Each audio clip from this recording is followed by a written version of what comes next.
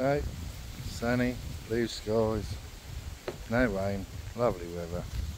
Um, yeah, thought we'd do a bit of scaffolding today.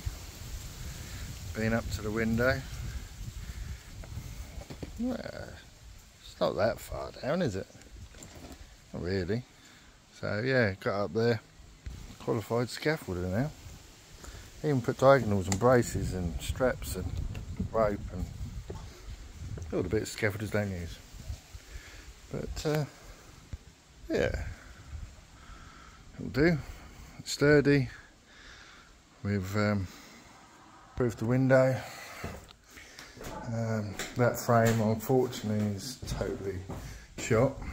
So we've, um, well I've taken the uh, glass out of that one and on the floor there with all the window that come off of this one because conveniently they use pin style hinges and you just wiggle them off and then put them through the frame so you don't actually have to get a ladder to the outside of the windows to replace the glass. They don't use putty, they just use panel pins. So, uh, yeah, all of the curved cut bits of glass from the other window. Going to put them in these little holes here. Panel pin them in, give them a, a tweak, a freshen and a screw.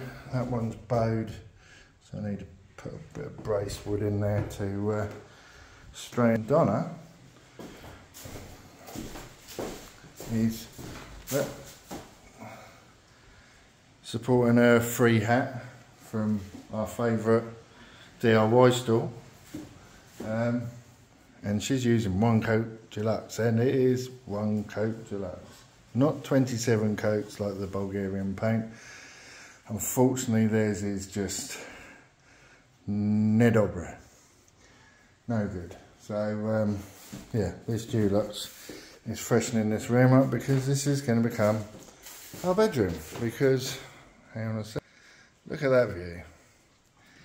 Straight up the garden. Obviously the view out of that one's not terribly clever at the minute, but the view out of this one's lovely. Not so good, very good. Nedobre, Minogodobre. So, yeah, that's where decorating the room because uh, Donna's put some fancy wallpaper it. Not sure it's going to be her job or my job.